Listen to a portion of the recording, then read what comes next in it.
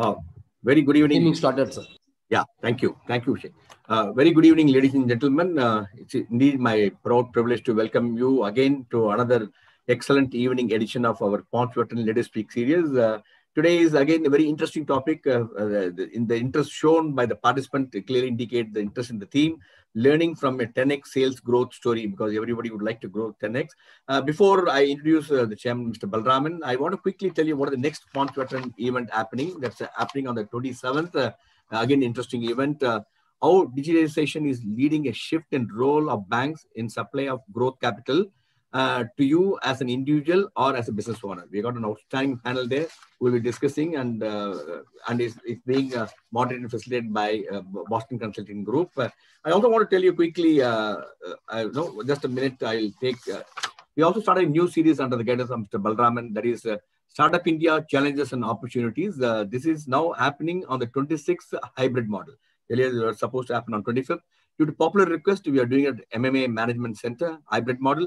So do come and listen to Srinath Ravichandran, how he has achieved great success in Agnikul Cosmos.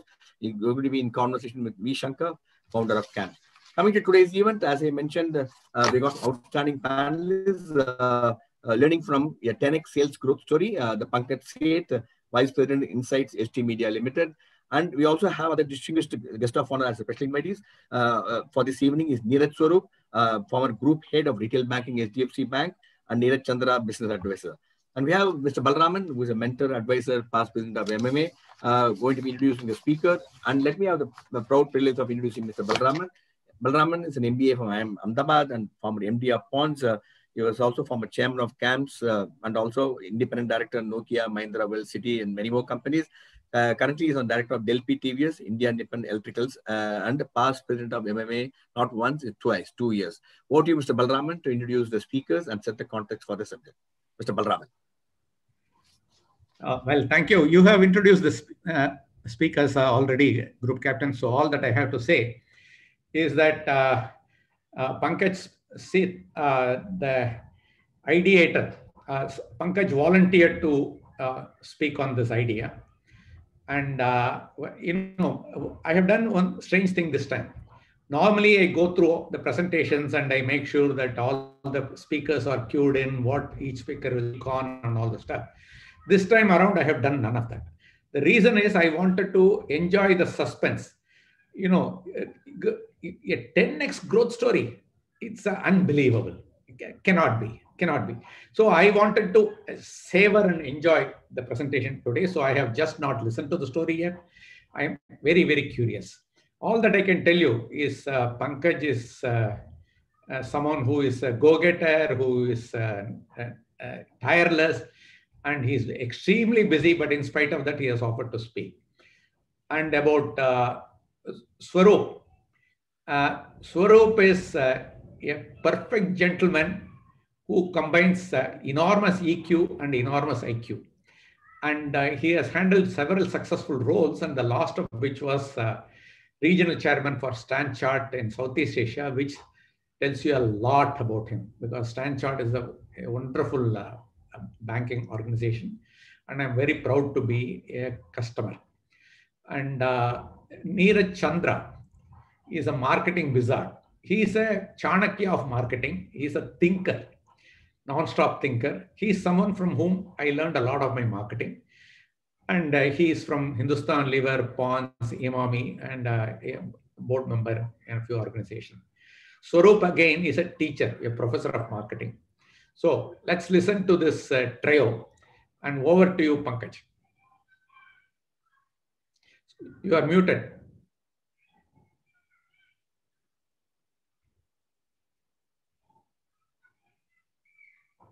Yeah, thank you, Balraman sir. Is my uh, presentation visible, please? Yes. Okay, so uh, good evening, everybody. Uh, so as this is part of the Ponds series, veteran series, and we'll talk about learnings from a 10x sales growth. Once this band is covering my band. One second, I'll just try to figure out how to drag this box down. Sorry for this. I'm just trying to figure out how to drag this box down. Yep. There we go. There we go. So probably that was the Chinese influence of Zoom, but on a lighter note. So, so I'll start the first session. So I this is from my days in HDFC Life. I was the head of bancassurance. There I was the first uh, full-time head of HDFC Life Bancassurance. Currently, I work with HT Media. My presentation, I will cover three facets. One is the sales growth story, how it unveiled, and the learnings from there. That's the second part. That what drove the story, what drove the collective team effort of 10x sales growth, and insights that you can use. That is our endeavor today to share insights with our young colleagues on this platform. I would advise and recommend that you take notes of anything which you find interesting, which you can apply. Uh, I would also advise that if there is something you find very relevant, you can even take a picture of that. You can refer to the presentation later, but you can also take a picture of the framework or any tips that you see on the screen. So the insights you can use will keep calling out. And there were also underlying organizational factors. So the foundations built by HDFC Life in its early years enabled the sales team to flourish in those years. So we'll also touch upon that. I will uh, then hand over the baton uh, to Neeraj Swaroop and uh, then to Neeraj Chandra. The context setting first, HDFC Life was the first life insurance company in the private sector to start operations in early 2000s when the sector opened up to private companies. The team that I headed, we took our sales from 37 crore to 375 crore over that two-year period in the channel which is called bancassurance channel. Bancassurance, as you can make out, is insurance distribute through a banking channel. I was the first full-time head. Earlier, it was part of the overall system. And the team, I, and with excellent support from all functions of the organization, we delivered in two years a 10x growth. This is the story of the stock price. Uh, so in the year that I got my ESOPs, uh, I got it at rupees 18. The stock today, I checked it yesterday, was 700 rupees. I sold a few of it a few years back to pay off my home loan, but I wish I had not sold it. But on a light, that was on a lighter note. But as you can make out over this 15, 17 years journey, the company continues to do well. And the bancassurance channel is a large part of the company's business now. So there were many learnings from that journey. And these learnings are relevant for all growth seeking companies and teams and startups, even existing companies and, seeing, and teams which are seeking growth. Some of you may be from a sales and marketing background. Some of you may be from other functions also.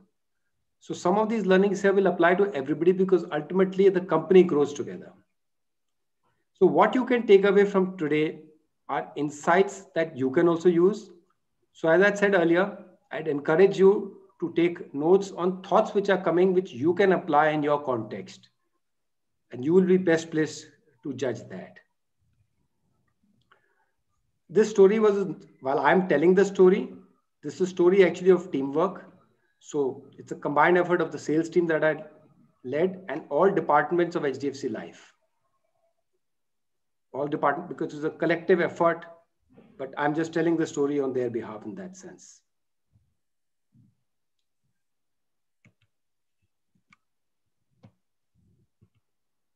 Okay, moving further. What drove the growth? There were five large points which accelerated and enabled growth. We look at each of them one by one. First is around distribution. Distribution capacities, distribution capabilities, and energizing the distribution system. On the right, I've written some insights. I'll refer to it but the distribution was a big part of it. Second, product customization and fitments.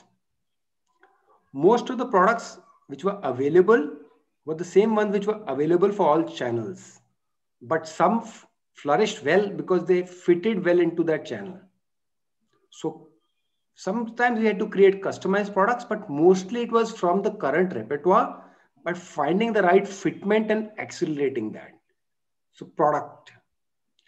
Third is sales team processes, hard processes around targets, managing those, soft processes about people, engaging them, motivating them in a process driven way, and technology. The next was a sales leadership team. How to structure it, who are the manning it, how do the role synergies work out well. And the last was checks and balances. Like in cricket, to win a match, you of course have to score the runs, but you also have to preserve your wicket. So any good sales system needs checks and balances always without stifling innovation. So we'll pick up learnings on that as well. So first, distribution capacities, capabilities, and energizing the distribution system. The first is capacities. More channels, more people. So we did a 2x on capacities, more banking partners. Remember, this was insurance and pension products sold through banks. So from two to five, the banking partners went up. Second is more people to sell our products. Internally, from 20 in the previous year to 100 plus. Externally, in the banking partner, below 50 to start with and going up to 400. So more people selling products. The internal one was a cost, but the external one doesn't add cost to us, remember. It doesn't add fixed cost to us. Anything they sell, they have a fee, but it doesn't have fixed cost. Internal adds fixed cost. Capability build, that's a 10x. Training on products, on processes, and the, this was led by our regional managers.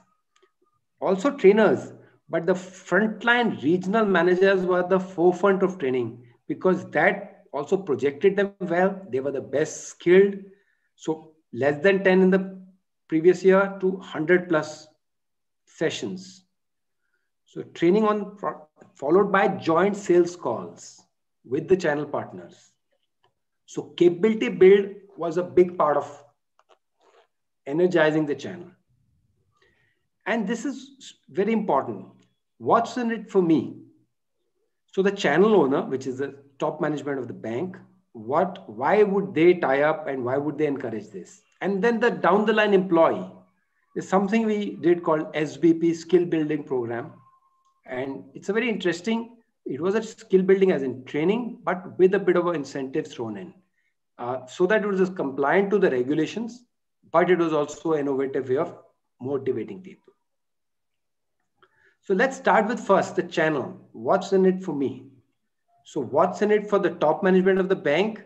The more they sold our products, the more there was profits for them. Secondly, the skill sets of their team went up because these were third party products. Typically, banks had till that time been selling their deposits and their loans, but these were third party products, right? So, insurance is one, mutual fund is another, general insurance is another. So, that's a skill set which builds up. For the middle management, what's in it for me for the middle management? A, they achieve their targets, which help them in their careers. Secondly, because this was a priority of the top management to drive fee-based income, it got them visibility among top management. So that for middle management counts a lot. And that is something that our sales team also leveraged smartly. SBP was skill building program. So regulations at that time, the rules which were laid down by IRDA did not allow us to give incentive, monetary incentive to anybody in the bank employees uh, pool. So what did we do? So for everybody, we did a training program in their training room or our training room. For a set of performers who did well, we did the same training or a little more value added training in a five star hotel. And for the top one nationally, we did it in a resort in Goa, in Ooty, in Jaipur, because it was a skill building program. So it was compliant, but it also built a motivational factor, right? So innovating within the rules, but still rewarding the performers. And what's in it for the front line? Again, target achievement helps them in their careers, visibility among the seniors, SBP. Plus, for the front line, insurance was a sector which was opening up. Subsequently, for them to get, get into even the bank insurance business of other banks or insurance companies, it enabled their careers as well. What we are saying, not this was not mentioned in every dialogue, but we have to be aware how to energize the channel and what works for the top management may not be exactly the same which works for frontline. They have some interlinkage, but one has to address that, be conscious of that. Oh, now energizing channel. So one of the channels, which is Union Bank, one of our partners actually, was less used to using selling third-party products. So there was the same set of people who would sell bank deposits, bank loans. So they're same people. How do energize them? We followed the campaign model there. Campaign model is you don't sell it every day, every week. You go on and take a campaign. So in a campaign model in a quarter, remember a quarter has 13 weeks, there was a concentrated burst of two to three weeks in which a lot of focus went in. So in that two to three weeks, the entire quarter's target was achieved. So it was a campaign model and the rest of the 10, 11 weeks, they were free to sell what they were selling and service what they were servicing. So for that concentrated bus, in this diagram that you see, the arrows, all the arrows had to work very smoothly. Only then the last arrow facing the customer works. Top to top alignment, instructions down the line, frontline, frontline alignments. So a lot of planning, so two by two, there is that. Two organization, two levels. So that's a campaign model. A second channel partner, a very amazing institution and bank called HDFC Bank. They was used to selling third-party products because they had already a dedicated channel, sales channel strategy. So there it was more about energizing that channel. So our model was the PJP model, permanent journey plan. This is a model which the Unilever system, the Ponds lever system has been using for years. So that adapted to a bancassurance environment. So table on the left bottom. So if it's a category A branch, the frontline executive of ours would do weekly visit and his manager would do fortnightly visit. So if it's category B branch, a little less frequently, but it is templated and on the right side, if you see goal of a visit, every visit had a specific agenda. Initially, it was just to put a foot in the door, to, to engage with the brand, the branch manager, with the team. Then was joint planning, right? And then what do we want to do? Which customers, how, when, what should we do to engage? Then was joint sales. And smartly when the sales used to happen, the, the, the respective manager in the location would spread that word to other branches. Okay, so and so branch is sold, so why don't you also sell? So spreading that news after sale happens, right? It creates energizing because that channel was a very efficient channel in distributing third party, so it helps us build momentum. And then if there was a top up, some new product, a new scheme, that was on a requirement basis but different strategy to energize different channel. Moving further to product customization. So as I said, HDFC Bank for the mass channel, for where they are able to reach to a lot of people, the products which fitted very well was children plan and pension plan. So most people who are in their 30s would have kids. So planning for their kids' education. So it's a good saving plan. It gives multiple benefits. And for people, let's say, who are in the late 40s and 50s, a pension plan, right? SI is standing instruction, so auto debits every month, every month, every six months. So reasonably templatized approach for the HNI focused sub-channel within the same bank, a wider range of products, including short payment durations. Some of the HNIs were running their own businesses. So let's say if they're making good profits in two, three years, and they're not sure about what will happen subsequently. So products customized for them. The large message here is customization. Union Bank, uh, again, a very amazing bank with its own footprint strengths, had a very strong focus on small and medium enterprises. Small, medium enterprises revolve a lot around the key man, the M, the senior person, the MD chairman. So ensuring that person via something called as key man insurance because if something happens to him or her, it, it is affects the, the company as well as the, the family. So SME focused product. Of course, they also distributed and sold other products, but playing to the strengths. HDFC Limited, which is a home loans company, amazing, that sells the market leader in home loans. So simple protection plan with the home loan. So if you are taking a home loan, then you can take a life insurance to cover that home loan. So very simple paperwork, including declaration of good health. So, so it's flowed very smoothly. And even now, this continues to do very well. So while the underlying suite of products available for every channel was the same, but what flourished well in different channel because of fitment was a little different. And that's what we scaled up to build velocity. And over time, this channel specific strategy also helped the company in the online sales channel, where again, HDFC Life is doing very well. I'm just going to take a 20, 30 second pause for the audiences.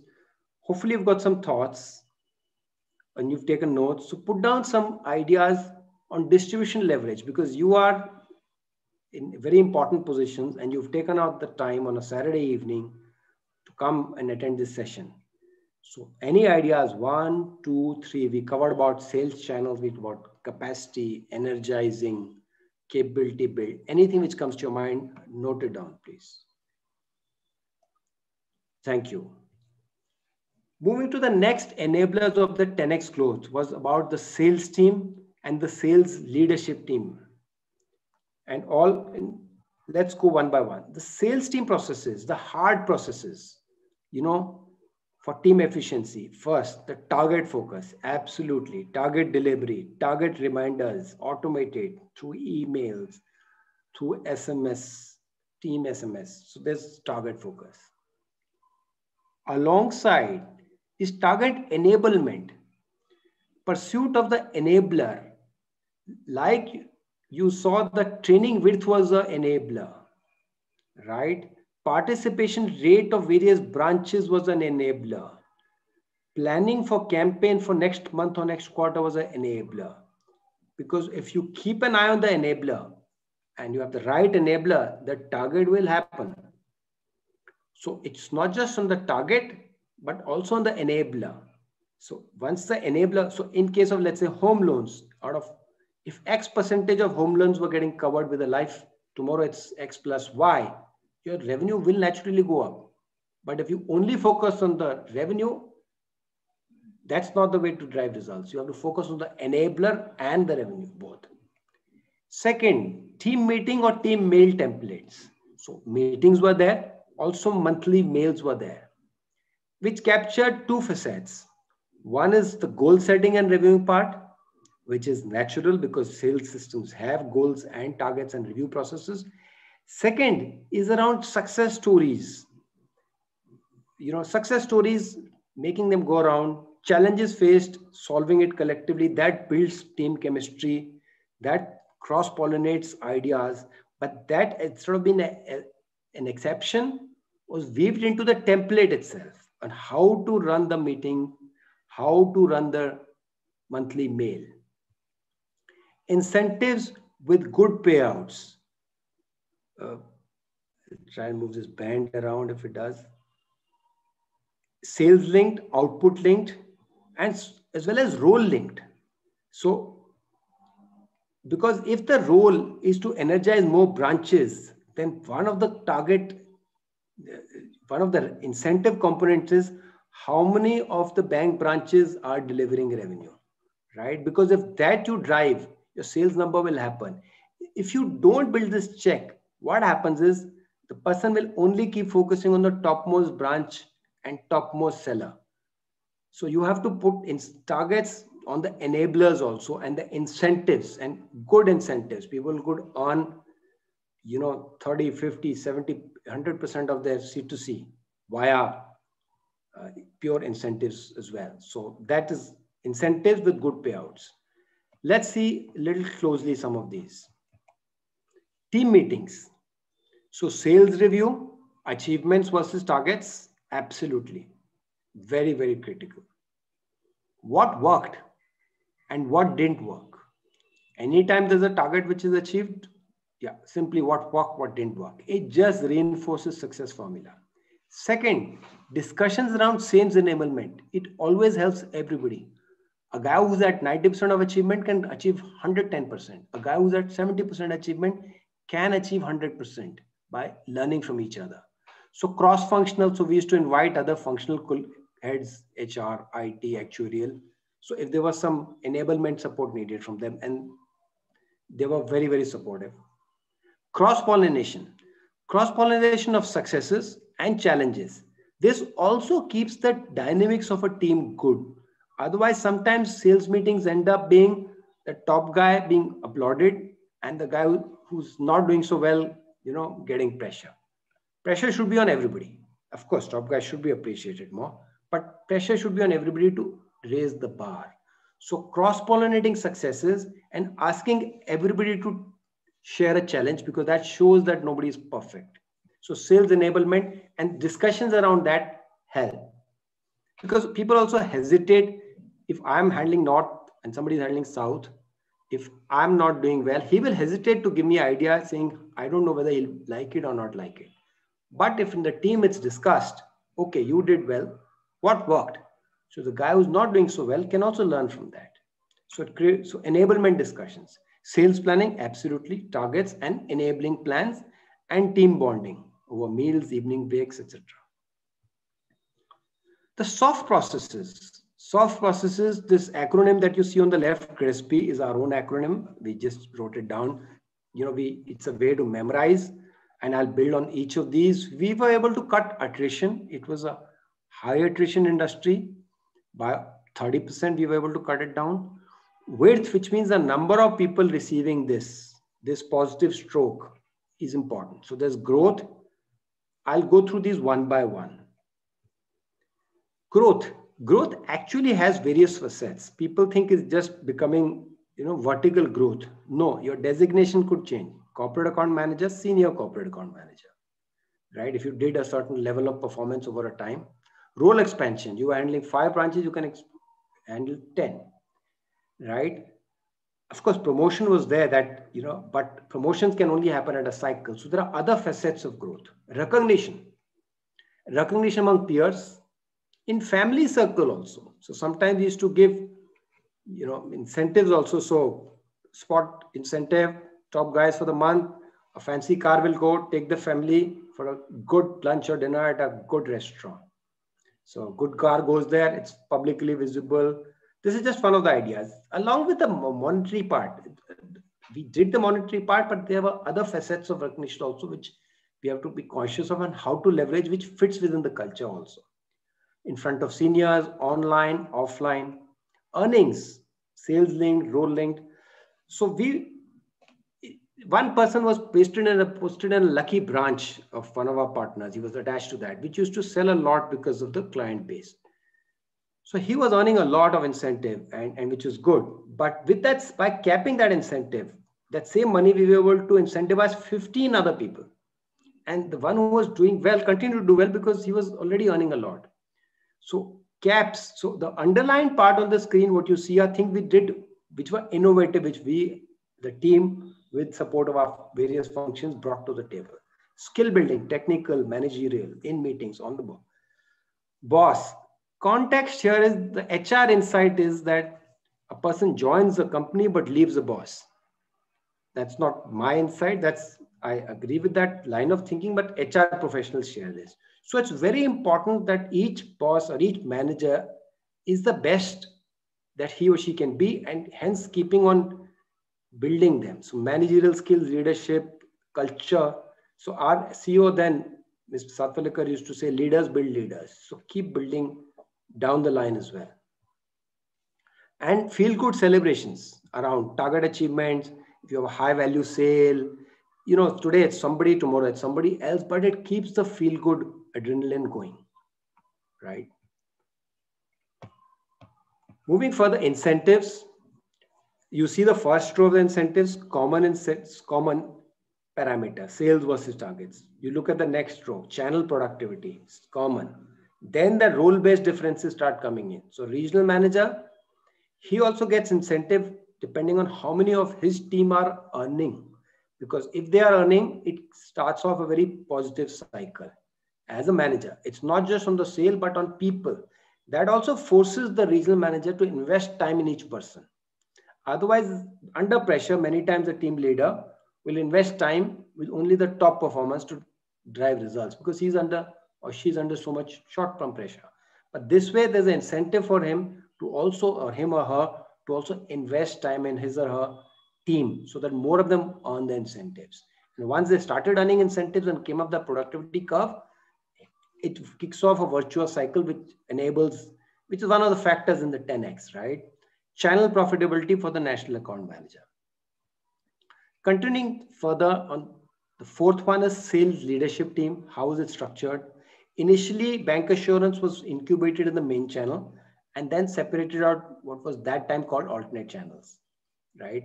Initially, all roles were merged, line and sale, but as it grew, line role, regional role, and national account management was split out. Even Ponds and Levers had a similar structure, sales teams and the category teams. Many of the e-commerce companies also have that. The people, right recruitment, right fitment, right onboarding, clear rules, and strong leadership paradigms. And I'll cover on that. Common vision, common values, leadership focus. So good people and manning important roles. This is an important paradigm again, the role definition. What's the various people's roles in a hierarchy? So simple rule, the last person in the chain, which is a local person, he has to deliver or she has to deliver next four weeks numbers. And not just this week's number. One level above him, regional, has to deliver this month, but has to be conscious of delivering the next four months also. Hence the building people, building relationship, unlocking enablers. And the national role has to deliver this quarter, but also has to keep a constant eye on the next four quarters. That way it sets off a virtuous cycle. And as you saw, the incentive schemes also aligned in that direction. So this, this was the fourth one. And then again, I'll take a 30 second pause.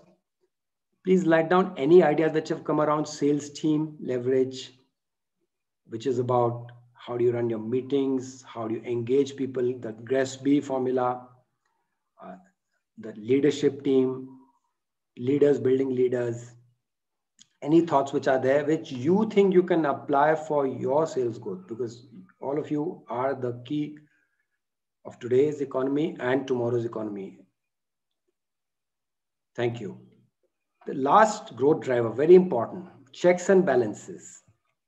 Why is this important? Because there are rules, there are regulations. There's a brand also you have to be very conscious about. And future sales are all dependent on how you do today, right?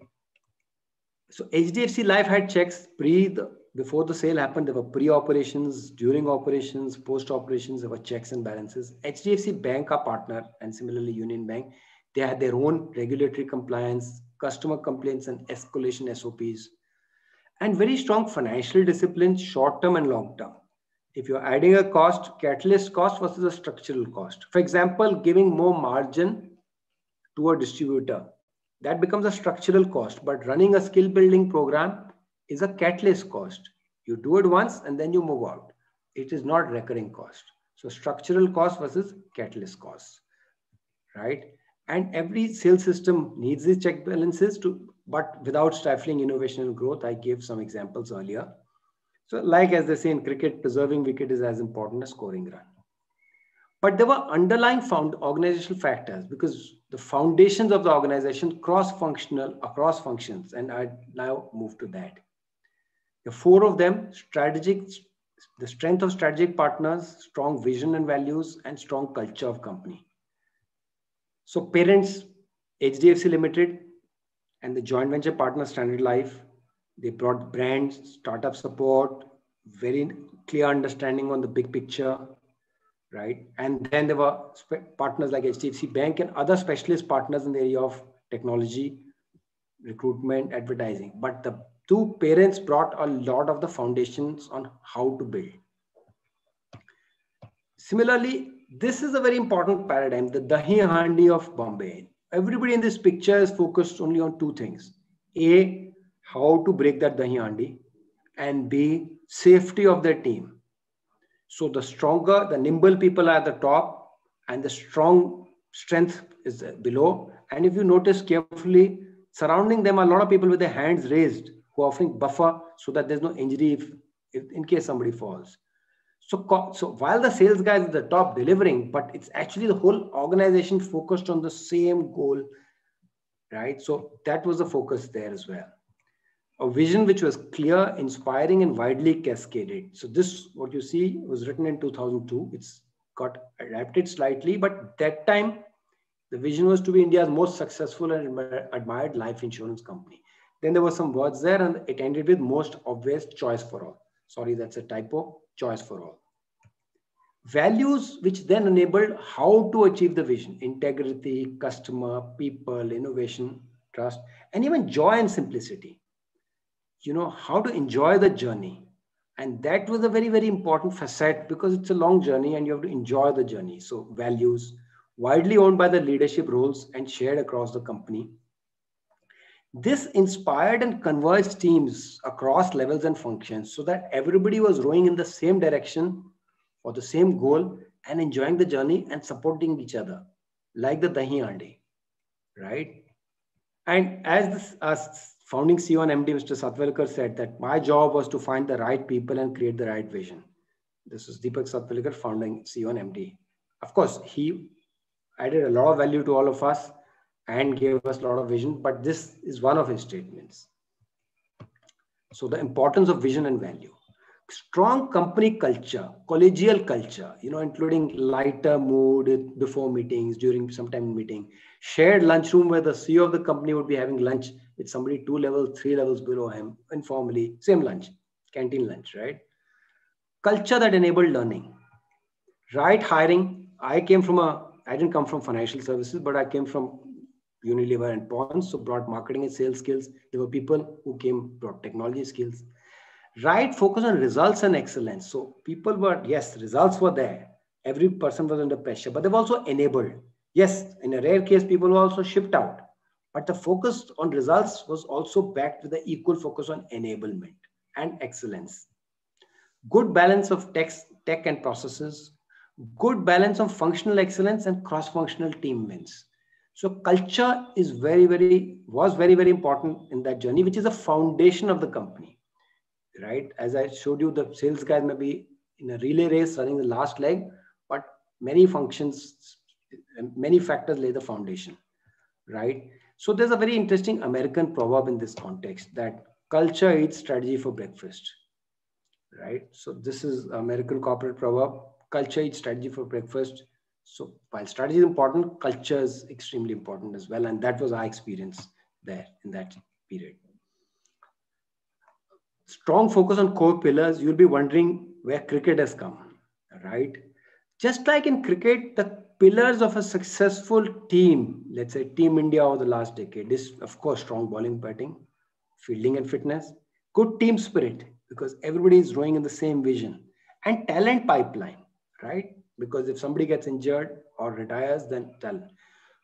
Pillars have to be clear. So the, the overall company was very focused on these pillars that you see: customer, employees, technology, and costs.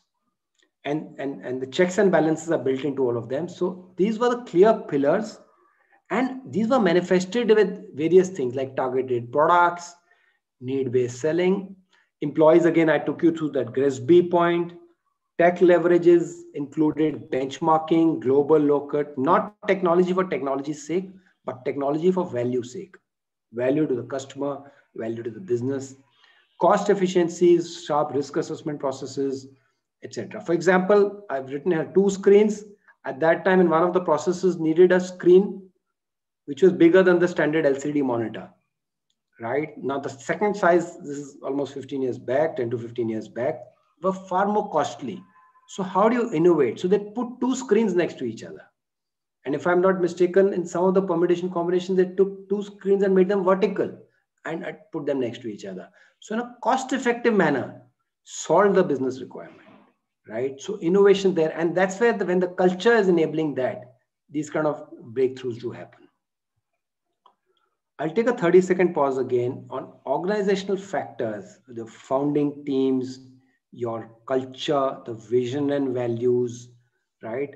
What is it that any ideas that have struck you that you can apply in your uh, organization, right? As uh, to enable growth for yourself, for your teams, right? Thank you. So I am now heading towards the end of my module. So to summarize, in a two-year period, we took the team that I headed 37 crore to 375 crore. While I'm presenting the story, it was a combined effort of my entire sales team and all the departments of HDFC Life rowing together.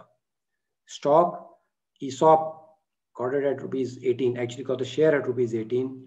So essentially the company is doing well, has done well. This 700 is the recent price, but the company has continued to do well, right? So what drove the sales growth? Five big factors. First around distribution. So distribution, capacities, capabilities, energizing, product, customizations and fitment, not just creating new products. Existing, many were existing products, right? Some customization, sometimes some tweaking on processes. Sales team processes, hard processes, targets, meetings, right? Enablement, soft processes, growth, recognition, earning, right? Technology leverage everywhere. Sales leadership team.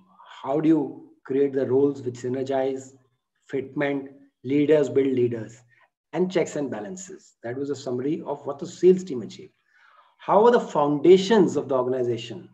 Or the strength of the strategic partners, a strong foundation of vision and values. What do we want to be? And how will we get there? a strong company culture, collegial, uh, cooperative, excellence oriented, and strong focus on core pillars. What are the pillars on which we're going to build this organization? So around customer, employee, tech, cost, brand and reputation all is there weaved into the customer because brand is very, very important in any, in any uh, institution, especially financial. That brings me to an end of my module. I now hand over the baton uh, to Neeraj Swaroop uh, he was over to Neeraj uh, now. Thank you. Thank you, Pankaj.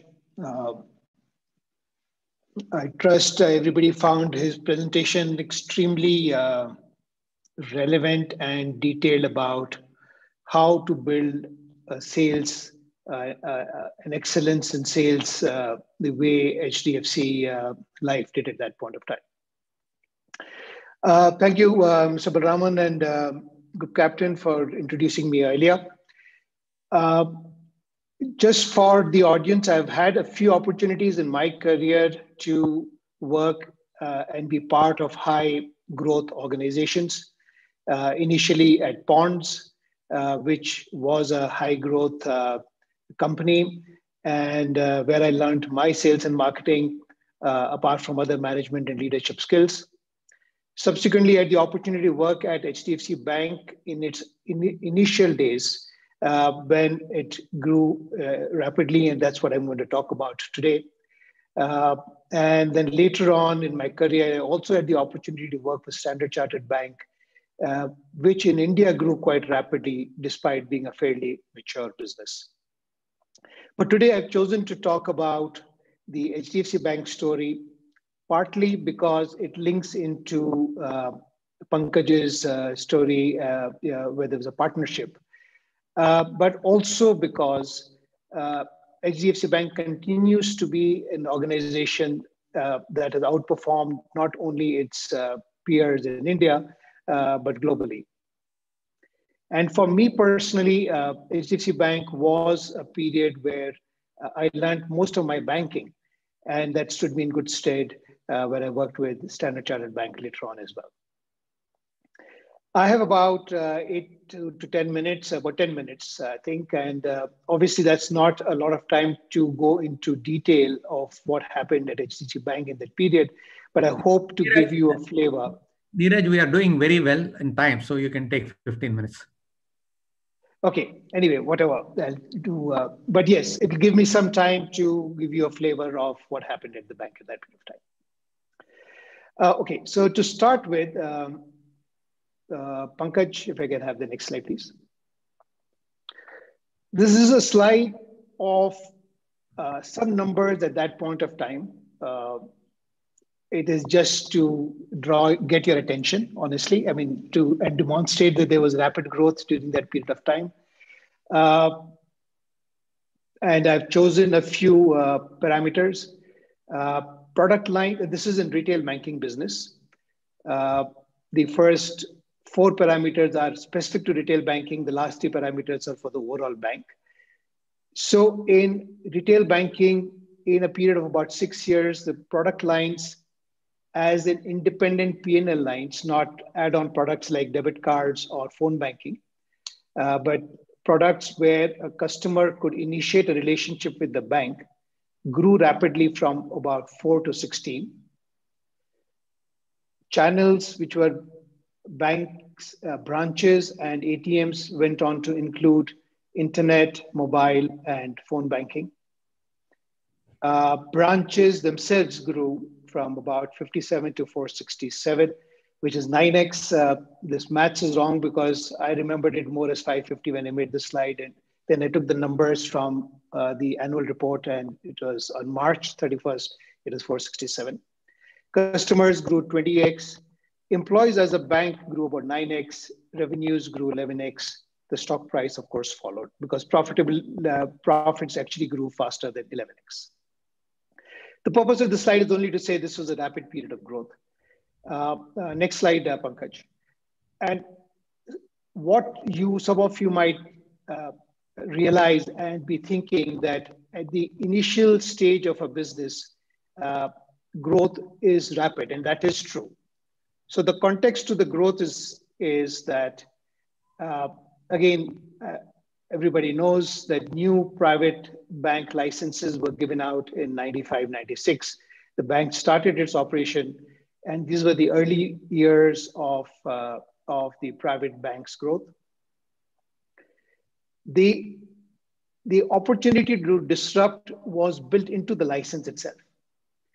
So the, the structure of the industry was that you had PSU banks and you had foreign banks. PSU banks uh, were good to a point, uh, but they were not marketing or customer oriented in the manner that foreign banks were, and therefore private banks could be. The foreign banks were highly profitable uh, and dominating in the richer, uh, high revenue businesses. Uh, so that was the structure, but there was an opportunity to disrupt. Having said that, the product category was such that it was not as if you made yourself available, people would pile in because uh, opening accounts is sticky. Uh, there has to be a strong enough reason for people to move from one bank to another. It tends to be relationship oriented, especially where corporates are concerned. And most importantly, in banking, as it continues to be even today, there is a significant difficulty to differentiate, largely due to regulatory reasons.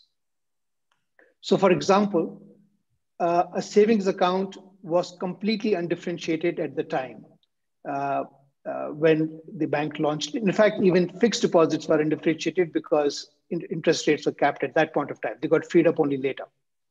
So, a current account or a saving account was the same in every bank, and it would be very difficult to differentiate as would be if you were to start thinking about loans, at least traditional loans. In banking and in NBFCs and in all financial service uh, lending businesses, especially, in the early years, the key challenge is to raise funding because you have capital and you're in the business of money. If you don't leverage your capital, you can't lend, and therefore you need to raise deposits. And you've got to raise them at a cost and and uh, with enough stickiness for it to be able to lend to be able to make money. And the second element is is to manage the risk uh, because any loss of capital not only means that you become vi- uh, non-viable but your ability to leverage for deposits also goes down because you have a cap on what multiple you can take on the capital you have so if you lose capital, you have to shrink your balance sheet. So in the initial stages of building a bank, raising deposits is key. which comes to the issue of brand, and even Pankaj touched upon it, because nobody's going to give you his money if the uh, trust is not important.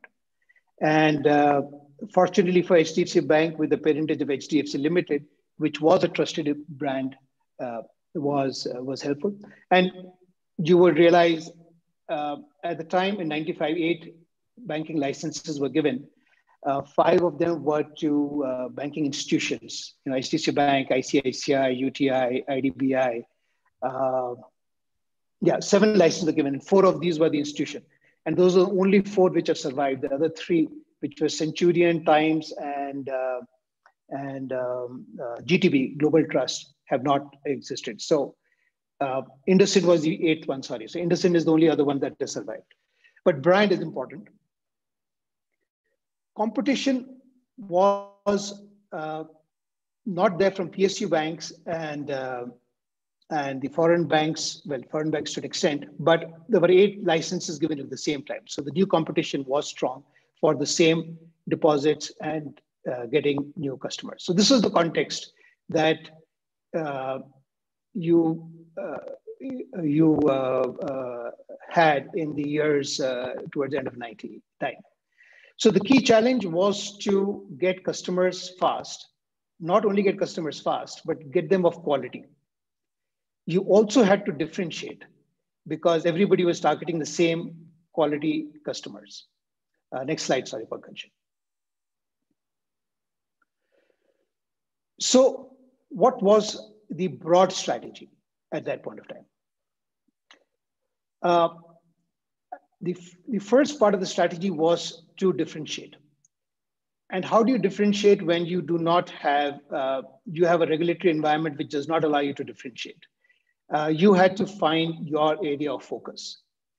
And I would talk about a few of those. Uh, uh so first, the target segment. So uh, uh, if you take corporate, if you take corporates, large corporates, a new bank cannot deal with because it does not have the size of the balance sheet to be able to give the size of loans that they would look at. Which means most new banks, and it exists even today, when banks uh, start up, uh, you focus on SME segments. SMEs, from a banking perspective, tend to be riskier uh, especially again, we're talking about 20 years ago when the quality of uh, disclosures and financials was not so easy. Uh, so, on it, so, something went wrong. Sorry, Siri came on. Okay, so uh, so the bank uh, focused on what were cash management products for corporates and short-term transaction lending products. Uh, specifically, for example, HDFC Bank in about two years, three years, cornered all the transaction banking accounts of the capital market players, which is the brokers. So the proposition in 20 years ago that we realized differentiated a private sector bank like HDFC Bank was anywhere banking, which we take for granted today. At that time, in a PSU bank, if you had an account in branch A, your customer could not deposit a check in branch B and get instant credit. It would go through clearing. Or you could not access your account from branch B to withdraw money. You would need specific approvals, etc. For the small business segment, the anywhere banking uh, became an opportunity for the bank to focus on and to build uh, a large current account cash management business. Similarly, geography. Uh, some of you might recall, if you were working at that time, that people like ICICI Bank, IDBI Bank, etc., went and opened branches abroad. Uh, HDFC Bank, and till today, remains focused on the fact that it believes that there is enough opportunity within the Indian market uh, and there is no value add or a differentiation in going uh, international, and so on and so forth. So HDFC Bank remained focused on, on the target segments it went after. In retail, it was going after the urban middle class, which was the obvious segment at that point of time. And of course, subsequently, it expanded its, its uh, segments. The other part of the strategy was to to grade the risk up slowly. So which meant you started with uh, deposits, but you had to do loans to make money. So you did secured loans, and then you did unsecured loans. You did unsecured loans, which had more evidence, and then you did pure unsecured loans, which had less less uh, information, and of course you then priced to match that appetite. But you did that over a period of years. The one I want to talk about uh, even more is the is this bit about capability build out, and that's always a, challenge for leadership. That how what do you do first? I mean, do you build a customer base and then you build capacity to service them? You or you build capacity and then you fill it up with customers, and so on. But in a high where you knew for a startup organization that the opportunity was big, uh, as it did with a private bank license in a, in a new uh, entrant scenario, uh, you could afford to do a cap capability build out simultaneously. That, of course, made it important that you executed well and you executed with clarity. But you had to not only build out products, and product builds out means everything from the systems, the processes, the people that had to be done along that. So in that period, for example, and you saw the number of people going up from 1,000 to 9,000, and that was only in the bank's roles. Uh, there was a subsidiary sales company which was also having another 10,000 people. The HR team was, was issuing 100 to 150 appointment letters a day, which meant they were probably interviewing uh, to start with 500 people every day. So it was that kind of capability build out that had to happen for the growth to be sustained. Uh, customer acquisition, uh, I didn't put it as number one, but it was key. Uh, it was, I didn't put it as number one because it had to follow uh, a strategy around products, around credit, around uh, capability in the organization. But it was key because that's what's going to drive the revenue. And I'm going to talk about it in my next slide. So I will not talk about it here. Finally, driving efficiency. Because as you build out, there was this danger that your costs could exceed how you were pacing your revenue. So pacing revenue to cost was extremely important. Also, therefore, you had to keep your costs low because you were, were in a build out. So the head office of the HDFC Bank operated from a rundown warehouse for the first five years. Then it moved into Lower Parel uh, it was a it was a very humble head office, uh, and uh, and each branch, and even today, uh, Bank branches are not anything to admire. They are functional. They are they are uh, cost effective, but that is important because if you spend before you could build revenue, uh, you would run out of capacity to build capability across all that you needed to do for growth. So it had to be simultaneous, but those were the five key elements of strategy that the leadership focused at that time. Next slide, please, Pankaj. Uh, on specifically on customer acquisition and cross-sell, and Pankaj has gone through a, a, detail on what all it goes to building an effective sales organization. I've highlighted two parts uh, uh, beyond what I think uh, was relevant for HDFC Bank. One was this bit about building upfront quality. Uh, in the banking business, you can acquire customers, but in all businesses, you can acquire customers, but all customers are not profitable. And then you spend a lot of energy in, in, uh, in weeding out or managing customers in the customer profitability metrics, etc. But if you build screens and quality upfront, uh, you can uh, you can both reduce cost and be more effective. So one of the big decisions early on was not to go after the DSA route. In that time, Citibank had pioneered very effective use of the DSAs. They didn't have a large branch organization, and uh, that was a temptation. Uh, HDFC Bank went uh, and set up a sales company, which is a 100% owned sub uh, subsidiary, uh, which was managed by bank managers, and therefore uh, quality was better.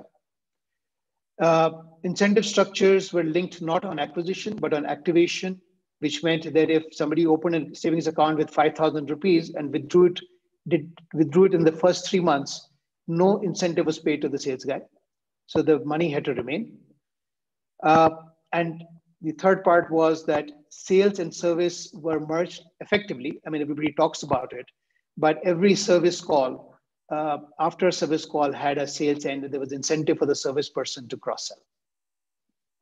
The cross sell itself was built with intelligence. Uh, Bank was an early start on uh, getting a data warehouse set up, which not only told you what was the customer revenue, uh, but a, a, construction of a customer profitability, including how much times he transacted with you, which is the cost, uh, and profitability by branch, by channel, uh, which gave you uh, a much better insight of how to how uh, to know who is doing how well. And then, because you had the data warehouse, you could run campaigns and uh, and uh, which were driven by what uh, was working and what was not working. Pankaj touched about channel rewards. Channel rewards were on a balanced scorecard basis, so you could tune up insurance uh, cross sell if you thought that was more profitable for the bank, or you could tune it down if you felt that your savings accounts uh, numbers were dropping. So you had a balanced scorecard uh, method. Pankaj, my last slide, please. So I'm sensitive that I've, I have taken up a fair amount of time, but I wanted to summarize as to, uh, and I was thinking hard as to what were my three big learnings from what I saw at HDFC Bank in those uh, years that I was with the bank. There are moments that capability build out has to be rapid and simultaneous and not sequential. It is contextual. It is contextual because when you know you have a business opportunity, uh, you can do that. Having said that, it requires tremendous clarity of strategy because you are putting investments up ahead. Uh, you are not waiting to see results. You have to have the confidence that you uh, are building that out. Also, capability, well, I've mentioned about other things, uh, it includes capability of the balance sheet. So you have to simultaneously build your balance sheet because in banking business, that is uh, uh, is quite key. Learning number two, you have to build profitability as a culture in, in your organization from day one. Uh, today, a lot of businesses do manage to have, and we're seeing that in the in the uh, internet space, especially. Uh, you first grow, get customers, and then you become profitable. One, I don't think it still applies to banks. Uh, it can apply to banks because as you write off losses, you write off capital, and you your capital is your raw material, and therefore you do not have the wherewithal to grow. So you have to remain profitable at all times. Also, because you're borrowing and raising liabilities from lenders, other lenders, including depositors, a non-profit making entity becomes very uh, dangerous. So what HDFC Bank did right was that every decision was checked for profit profitability. It didn't have to be profitable in year one. For example, a credit card business takes three years to break even. But every customer that came in had to be prof- could be profitable in three years was the check. And finally, uh, execution decides the winner. Uh, that's my uh, learning, and that's not just from HDFC Bank. Uh, as Pankaj said, culture trumps strategy every day. I add to that execution, execution trumps strategy any day. So you, if you execute, you build day one for quality, for the right purpose, and for the long term, uh, you will win. So those are my learnings. Thank you for this opportunity. I'm now going to pass on to the other Neeraj. Uh, by the way, I was just reflecting when Pankaj was doing this introduction that Pankaj, Neeraj, and Neeraj all mean the same in Sanskrit. So anyway, we'll, we'll let that be. and see over to you.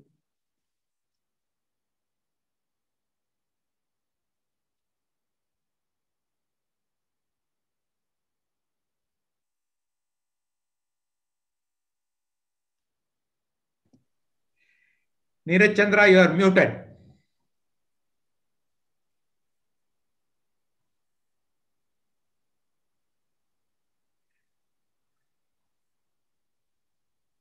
Neeraj Chandra, you're gone off the screen.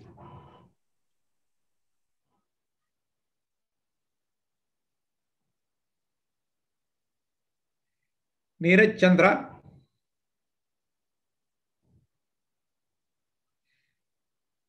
Group captain, is he on the? Hello. Where is Neeraj? Hello. He has muted himself actually, so we'll talk to him on phone. Is he cut off? No, no, he's there. He's. Uh...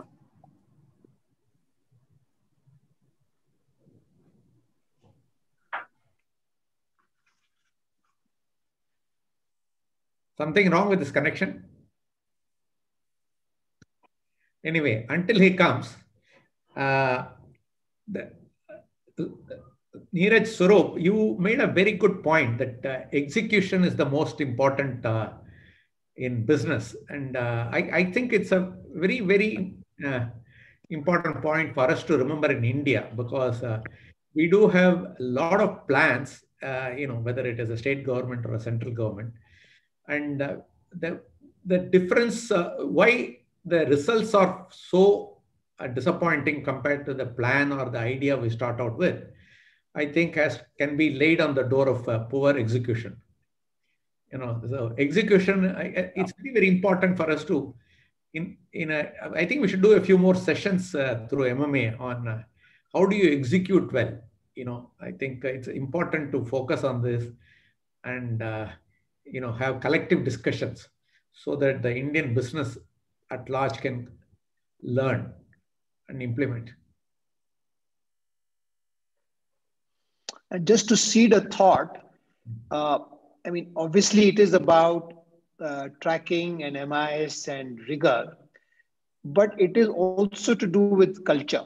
Uh, you know, so I'm linking the two because people have to not accept uh, solutions which are not end to end from a customer uh, perspective and uh, you know and, and of quality so it is all linked in in some manner.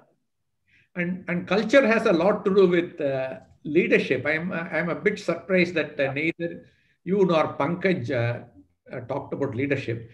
Uh, you know, I, I happen to know uh, your bank chairman, Puri. Yeah, right? Aditya and Deepak, and yeah, no, absolutely. Yeah, Deepak, and also Satwalekar I mean, uh, Chatwalekar, that's true. Yeah, see, he uh, he is now in Coimbatore. I think he's uh, part of the Isha uh, yeah. disciple group. And whenever he used to travel in those days, uh, I mean, uh, there direct flights from Bombay to Coimbatore started sometime. But before that, he used to come through Chennai both ways, and he, he used to stop by for a meal with me. And you know, a very humble man, but very clear-headed. headed and uh, very human hmm? and, and, a very ch- charming person, wasn't he? Yes, admirable, very admirable. Yeah. somebody I look up to as, um, yeah, he's, you're right, he's so humble and so uh, uh, real otherwise and, uh, and such a competent manager. Very true. And so was Aditya Puri. I mean, a man with total clarity, total focus, and always putting the job ahead of uh, himself. Very true.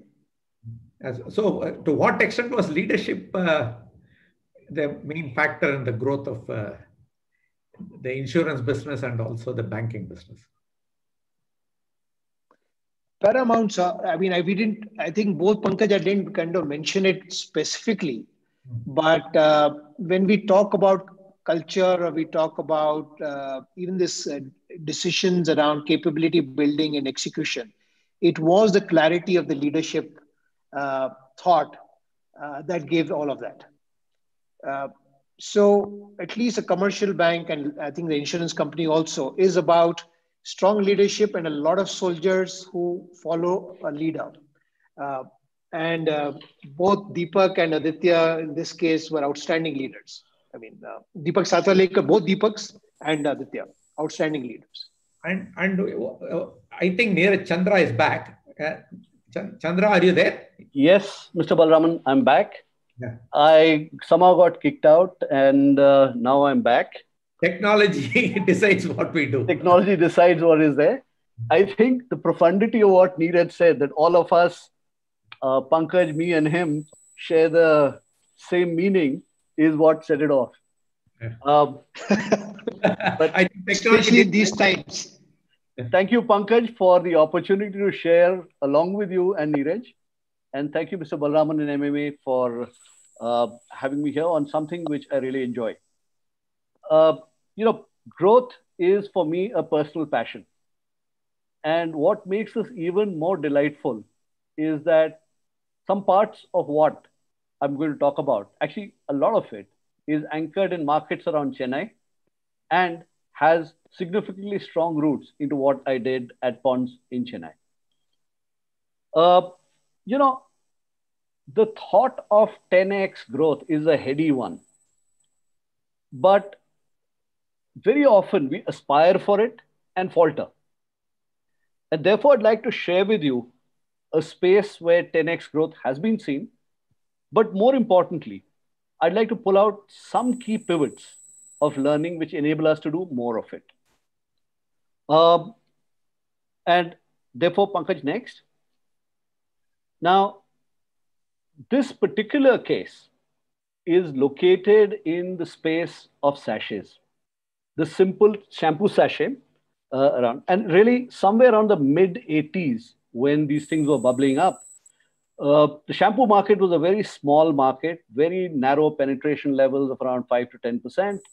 And people were using three drops of shampoo or 3 ml per year. So you can imagine how clean our hair used to be because of shampoos.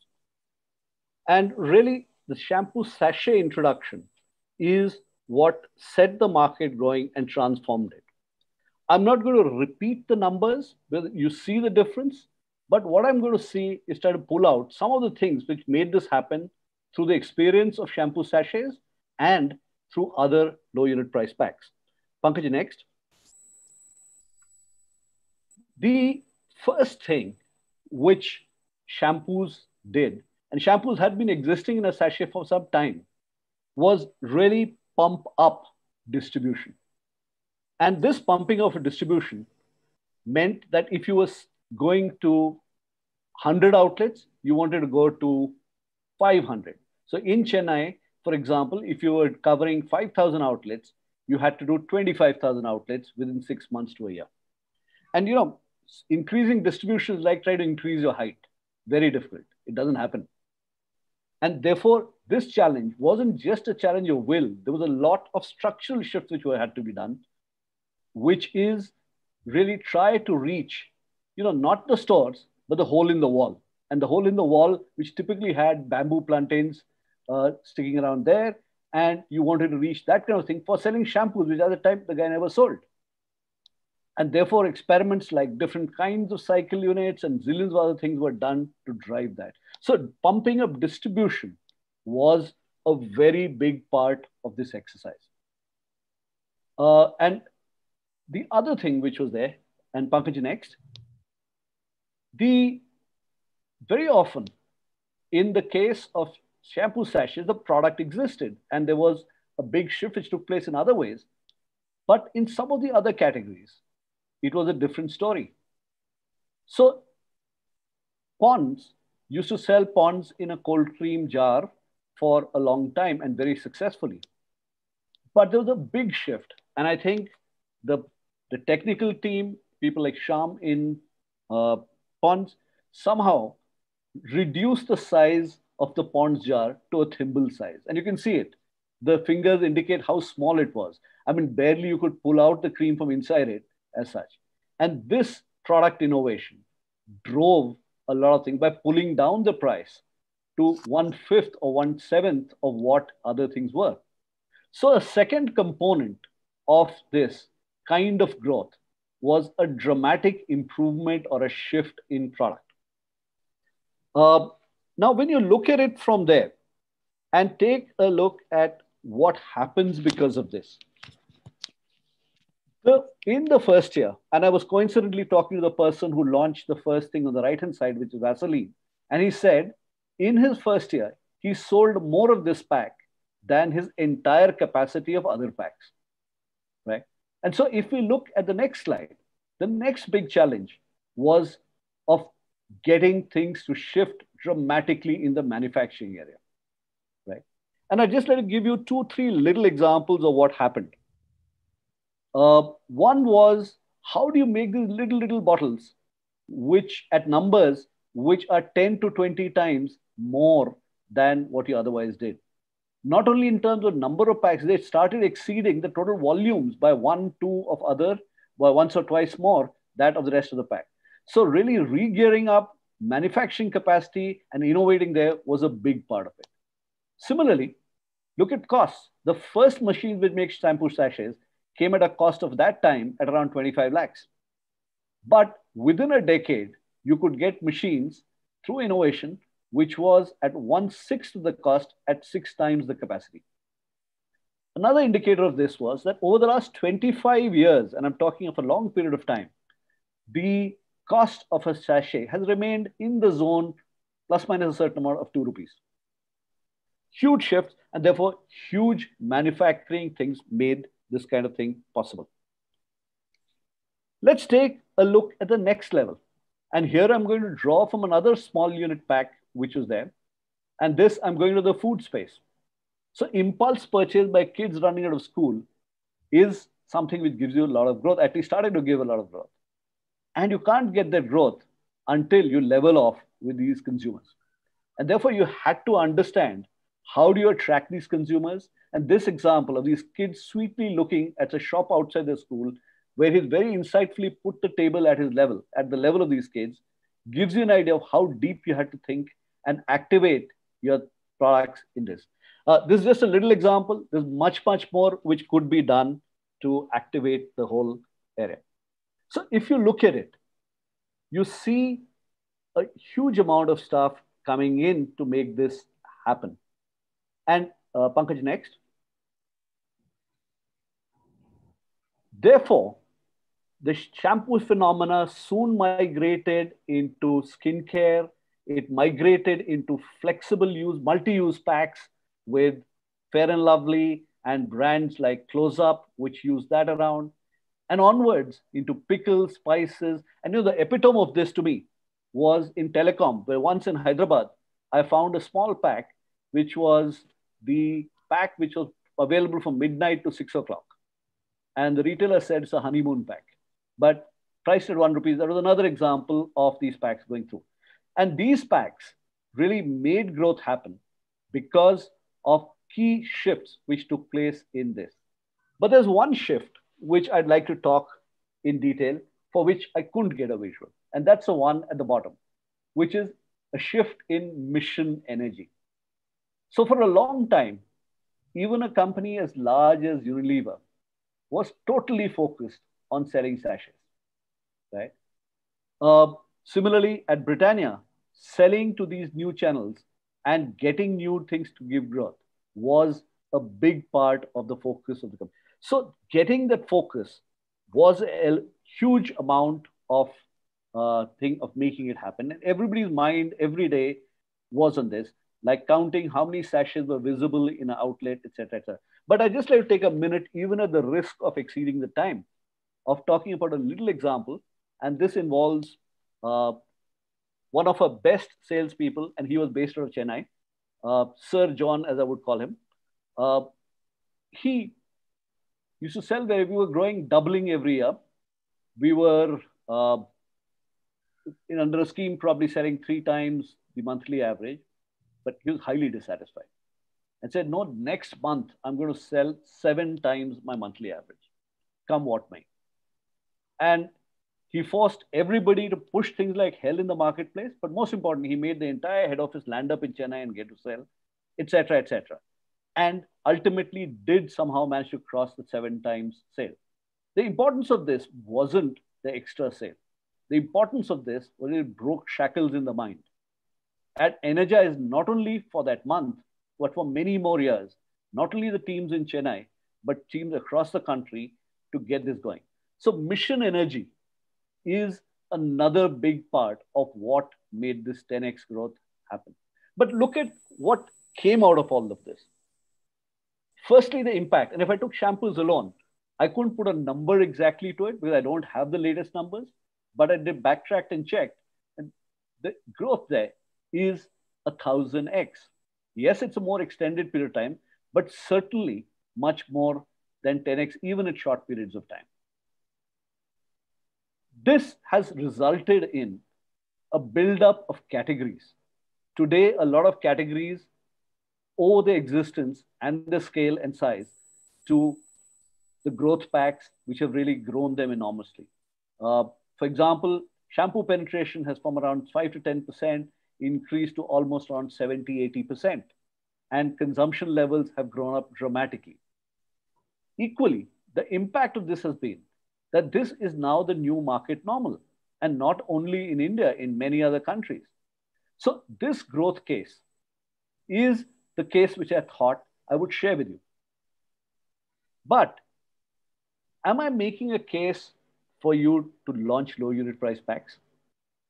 Am I suggesting to you to do packaging innovation? Uh, to some extent, yes. And if it's relevant and applicable, certainly. But the bigger thing I'd like to do is to draw out some things which I felt were important, which may work even in your specific context. Uh, I hope that would apply. so, you know, this whole thing um, about the small packs and growth is that it is not about bravado. So 10x growth is not about bravado. Uh, it is about something even more fundamental. Pankaj, next.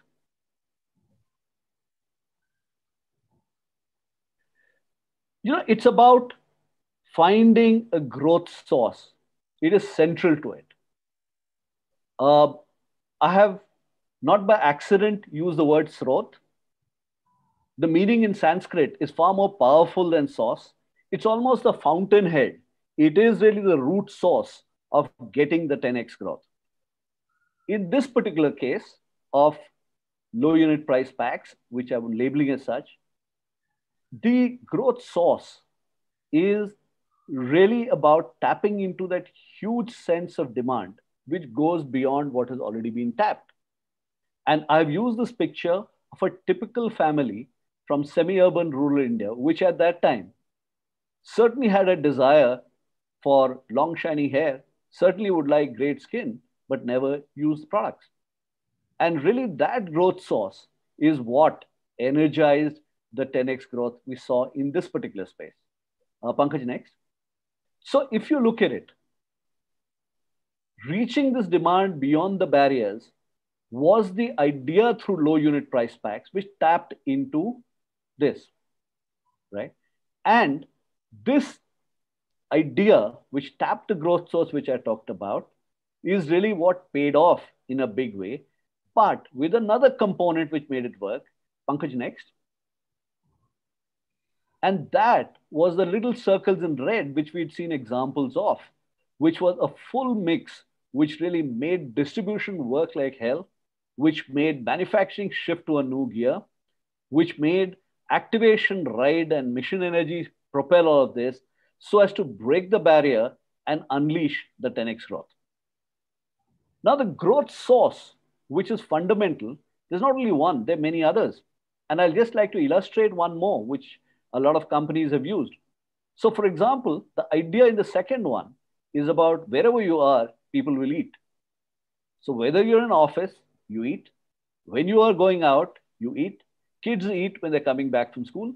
So really the idea for this has reflected on a lot of channels. And the photograph I showed to you of the kids was really tapping into the growth source of, you know, uh, kids and schools. Kids nutrition went there. Similarly, there is a lot of stuff here because institutional sales and selling into offices propelled more of it. Similarly, uh, companies like Pepsi go into transit clusters where a lot of people go for recreation and they gobble up drinks. So that growth source of trying to tap into people who are everywhere and anywhere and eat and uh, using the thought of consumption points leads to mixes of that. And similarly, there are other growth sources and other ideas which are there. But the point I'm trying to make to you that it is central for us to be clear what is our growth source. I think the other point I'd like to make is we will not get exceptional shifts by doing the same thing again and again. And here I'd like Pankaj to move to the next slide. The second fundamental is that of disruption. So if you want 10x growth, there has to be disruption. Part of the disruption, disruption comes at many levels, some big, some small, but equally valuable, all of them. Design and improving design is a disruption, is something which changes and provides a positive discontinuity. Similarly, innovation is one. And the four examples of manufacturing, distribution, uh, product, and even activation are examples of innovation and discontinuity which have driven the 10x growth. So this is not only about product innovation. This is about discontinuity, a positive discontinuity in anything and everything we do. And this can affect large brands, small brands, wherever. Of course, as we move into times like today, where technology and changing things have made far more fundamental disruption happen.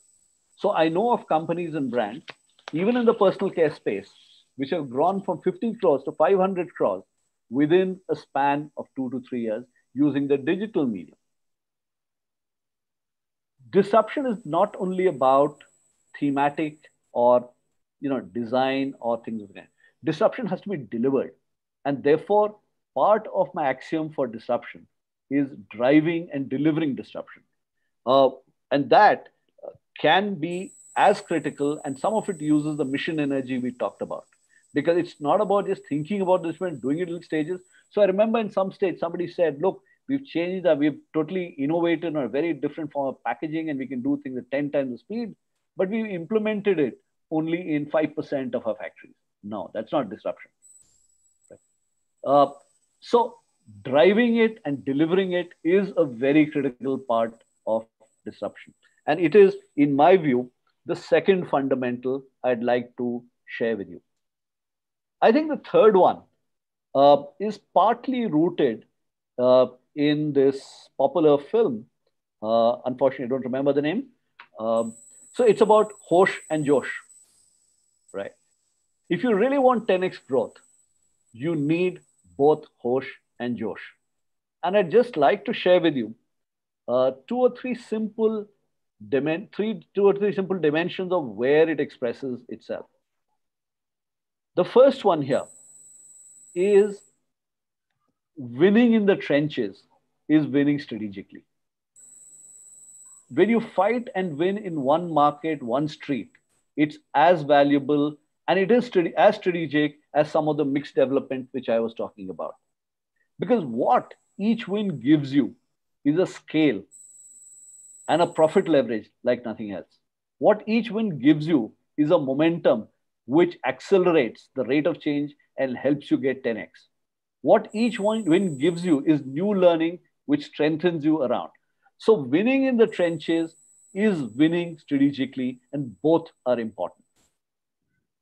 I think at one level, uh, I have in the previous set of slides uh, talked about you know things which clarify why, what is the strategy for growth, how will we do it, and yes, it is important.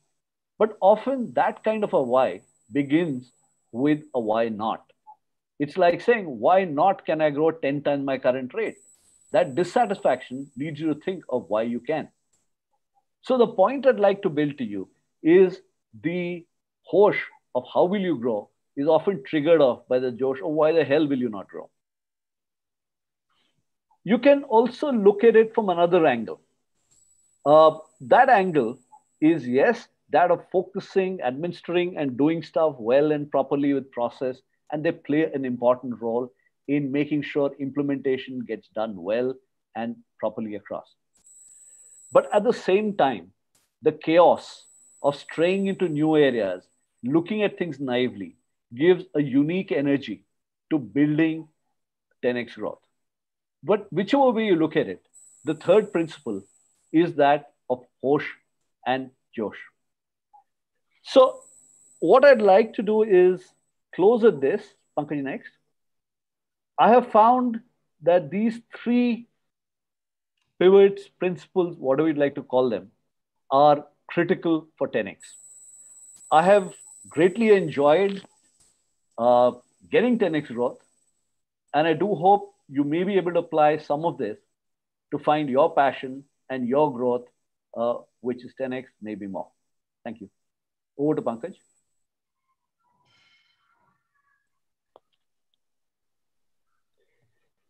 Thanks, uh, Neeraj. Uh, thank you so much. and thanks, uh, NC. Thanks, Neeraj. Uh, Group Captain, over to you for any questions that you may have got uh, uh, from the audiences, either through this channel or any other channel. All those who are in the chat box, you can.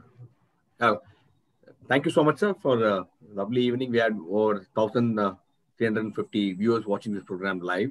And we got a couple of questions from the YouTube. One question, uh, I also request the people in the chat box, uh, uh, if you have any question, you can type your question so that uh, the panelists will be more than happy to uh, address your questions. Now, there's a question which has come from YouTube here. It building trust. Is it uh, a special measure strategy adopted by you to build trust? Because this is one which is really, really taken a beat in recent banking sector. So what's your view on this? Who, who, who is the addressing? Uh, Suru. I think it is Suru. Uh, you spoke about trust in HDFC Bank. So yeah, banking sector. Yeah. yeah.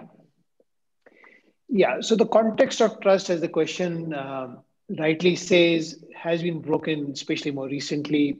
And well, banking is a culprit, but I would argue not only banking. Uh, it takes a long time to build trust. And if you look at uh, the wider HDFC group itself, uh, and that philosophy has has percolated down into uh, all the group companies. Uh, it has been built on offering transparent, honest products at one level, and uh, uh, in financial services, transparency is a big builder of trust. Because it tends to be complicated. Products, and there's, there can be many ways of manipulating communication, and understanding of products which can be you know uh, missold. So one of the key elements is transparency. And that is a philosophy that you build very consciously. I could go into details of a few instances where leadership has to take a call where uh, uh industry practice uh, allows you to get away with lack of transparency but you say that look if you are this kind of a company or this kind of a brand you will not do it and those decisions, I have seen some at close quarters have happened, may not happen, have happened all the time. They could have happened, but directionally, that's a way to. Uh, it, it, what I'm trying to say is that senior leadership has to engage with that question if you have to build a brand on trust. Thank you. Dear Chandra, would you like to share your thoughts because trust is the one thing which is fundamental to any business what you do. Uh, would you like to share some thoughts on this, uh, Neeraj? Sure. Uh, you know, trust has uh, degrees of importance in different industries, but it's a common factor. So, uh, in the financial space, it's very high. But even if you go to a retail store, uh, people want to go there and again and again because they have a certain faith in the quality of products there, etc., etc. So it is something which is a fairly widespread thing, uh, in particular if it's of any consequence to you. The thing is that trust also has many manifestations. At one level, it's a very placid thing, which is they will give me the quality which they've said. That's one type of thing. It can also be a very active form of trust that I can rely upon them to solve my problem if I run into trouble.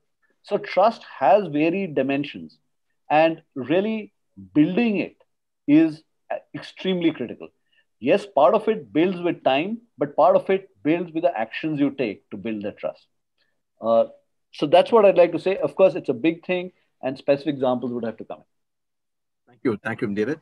Uh, here is again a question from the Facebook viewer uh, before I go to chat box. Uh, profitability as a culture from day one.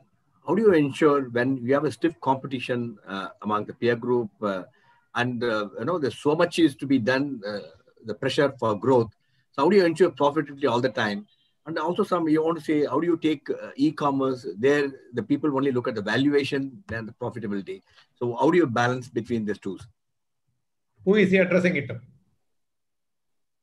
It's the, Neeraj, you told me profitability from day one. I think so the question should go to you. Yeah, yeah, I, I made that point. I had made that point. No, so I will not, uh, uh, I'll, I'll, go in the reverse order.